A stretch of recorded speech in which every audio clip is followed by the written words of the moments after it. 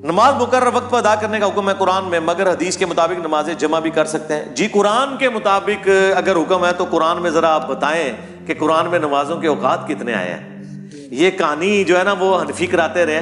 कुरान के मुताबिक अगर चलना है तो कुरान में तो नमाज़ के औकात भी तीन ही आए हैं। फजर का वक्त, ज़ोर असर दिन की नमाजें और रात। ये जो तफरीक है ना, पाँच नमाजों की, ये भी हदीस में ही आई है।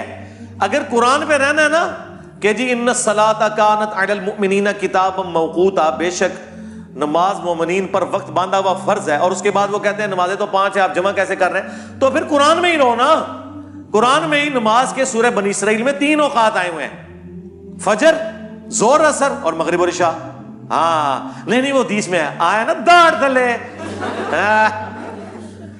हदीस में आया। तो हदीस भी चाहे, फिर सरकार हदीस थे फिर मुस्लिम में दस हदीसें हैं कि नबी इस्लाम ने नमाजें जमा की।